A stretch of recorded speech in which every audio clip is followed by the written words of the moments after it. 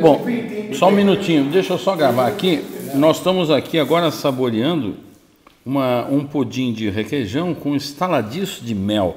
Você sabe o que é estaladiço? Né? E olha, e olha o que acompanhou aqui. Outono de Santar, elegante, 12% de álcool e 70 gramas de açúcar residual com elegância.